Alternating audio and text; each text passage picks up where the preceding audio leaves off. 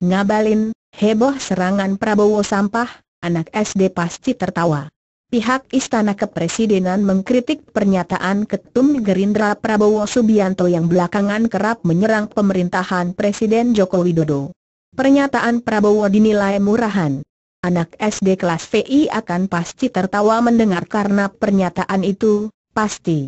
Karena bagaimana mungkin pernyataan sampah, murah, keluar dari mulut tokoh seperti Prabowo. Kasihan, ujar tenaga ahli kedeputian IVK SP Ali Mukhtar Ngabalin di Istana Kepresidenan, Jakarta Pusat, Senin, 25 Juni 2018.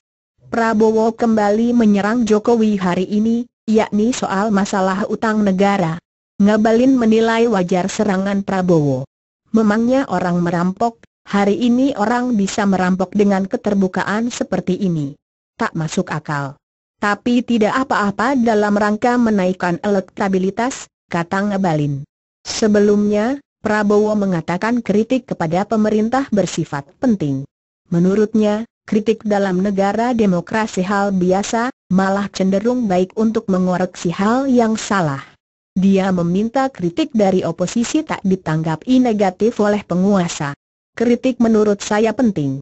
Jangan diartikan menghardik, kata Prabowo di kediaman Ketua MPR sekaligus Ketum PAN Zulkifli Hasan, JL Widya Chandra, Jakarta.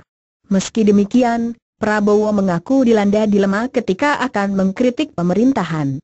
Dia menyebut punya banyak teman di lingkaran pemerintahan yang baik sehingga perasaan dilema itu muncul. Saya terus terang saja kadang-kadang dilematis.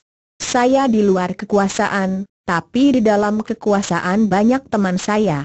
Saya katakan di pemerintahan banyak orang baik, kata Prabowo.